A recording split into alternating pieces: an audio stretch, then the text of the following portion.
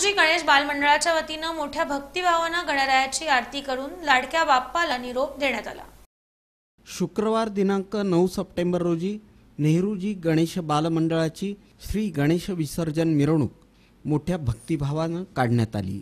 गणरायाची आरती करून लाडक्या बाप्पाला निरोप देण्यात आला. दरम्यान नेहरूजी गणेश मंडळाच्या गणेश मूर्तीचं विसर्जन तुळजापूर रोड परिसरातील खाणीमध्ये करण्यात आलं. याप्रसंगी नेहरूजी गणेश बालमंडळाचे मार्गदर्शक आनंद तालिकोटी यांनी आपले विचार मांडले.